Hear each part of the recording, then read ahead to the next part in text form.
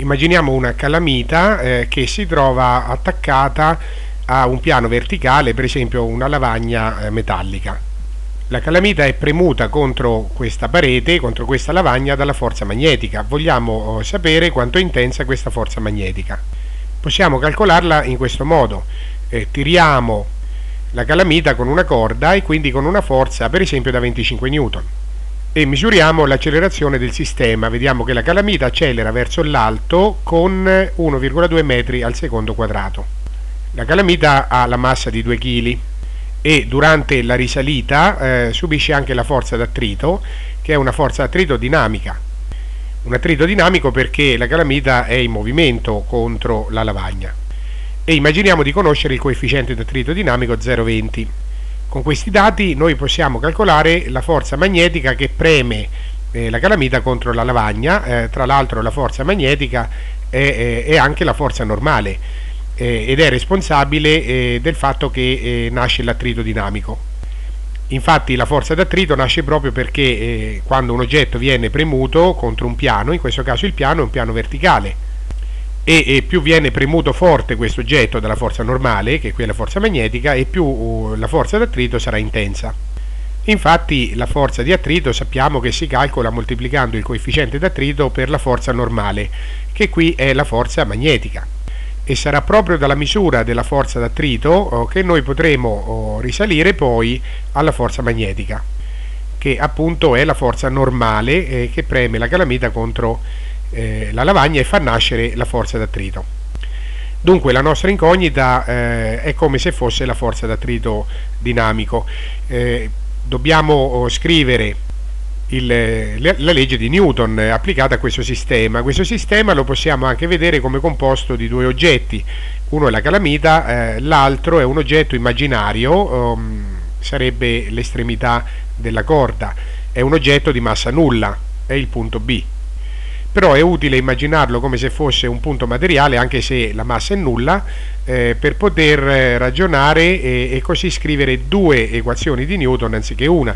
Infatti a questo punto oh, gli oggetti sono due.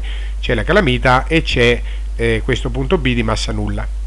Siccome sappiamo poi che il sistema si muove verso l'alto e verso destra, eh, la cosa più naturale è seguire eh, con la convenzione dei segni il modo del sistema, quindi eh, questa forza da 25 N sarà positiva, eh, la tensione del, della corda che nasce qua sul punto B, nel punto B sarà negativa, l'altra tensione che nasce all'altra estremità della corda sarà positiva. E invece eh, la forza peso della calamita, eh, 19,6 N, sarà negativa. E lo stesso anche l'attrito dinamico sarà eh, negativo. Quindi queste sono tutte le forze sul sistema, cominciamo eh, allora a scrivere la legge di Newton partendo proprio dalla calamita. La forza totale su di lei eh, è la somma algebrica di tre forze, questa con il segno più e queste due con il segno meno, quindi la forza di tensione meno mg e meno la forza d'attrito dinamico. E per la legge di Newton questa forza totale è uguale alla massa della calamita m per la sua accelerazione Passiamo quindi all'altro oggetto immaginario perché in realtà la sua massa è nulla, cioè il punto B è sottoposto a due forze, quindi la risultante è questa positiva meno l'altra, quindi 25 Newton, la forza F meno la forza di tensione, uguale m per A del punto B. Ma eh, siccome non ha massa, eh, questa eh, quantità al secondo membro si annulla e questo ci permette di dire che la forza con cui noi tiriamo e la forza di tensione sono uguali opposte, F uguale Ft. Quindi questa seconda equazione eh, in realtà è servita soltanto per dire che queste due forze, forze, hanno la stessa intensità e quindi è come dire che questa forza F da 25 N si trasmette direttamente sulla uh, calamita. Infatti noi andiamo a sostituire eh, questa forza di tensione con eh, la forza F da 25 N. Facciamo questa sostituzione e lavoriamo soltanto sulla prima equazione di Newton, quindi non abbiamo più forza di tensione ma abbiamo la forza F da 25 N, tanto sono uguali, meno mg e ricopiamo. A questo punto oh, tutti i valori in questa equazione sono noti tranne la forza di attrito dinamico, quindi possiamo ricavare questa forza eh, d'attrito portandola a destra e scrivendola nella forma KD per la forza normale che è la forza magnetica quindi eh, la forza trio-dinamico è KD per eh, la forza magnetica, la portiamo a destra. Invece a sinistra rimane la forza da 25 N meno mg e poi anche meno ma. Però mg meno ma eh, possiamo raccogliere m e quindi diventa m per g più a. Eh, in quanto il meno l'ho messo davanti, forse ho fatto un po' confusione, quindi ricominciamo oh, da quando portiamo a sinistra MA, viene meno mg meno ma, raccogliamo sia il meno sia la massa della calamita, meno m, e quindi rimane g più a.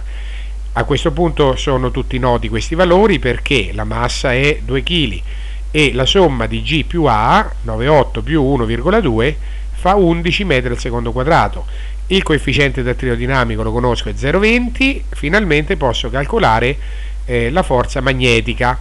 Eh, basta eh, fare questo calcolo. 25 meno 22 sono 3 newton quindi 3 newton uguale 0,20 per la forza magnetica. La forza magnetica è 3 newton diviso 0,20 cioè è 15 newton. Abbiamo così calcolato la forza magnetica conoscendo la forza con cui tiriamo la corda, 25 N, e l'accelerazione del sistema e anche il coefficiente d'attrito dinamico. Voglio ripetere un attimo la novità di questo esercizio. Eh, la novità è che l'estremità della corda si può immaginare come un punto senza massa. Applicando la legge di Newton a questo punto senza massa, viene fuori che queste due forze, F e la forza di tensione, sono uguali opposte e questo sarà utile per eh, sostituire la forza di tensione sulla calamita con la forza da 25 N, come se questa forza fosse applicata direttamente sulla calamita.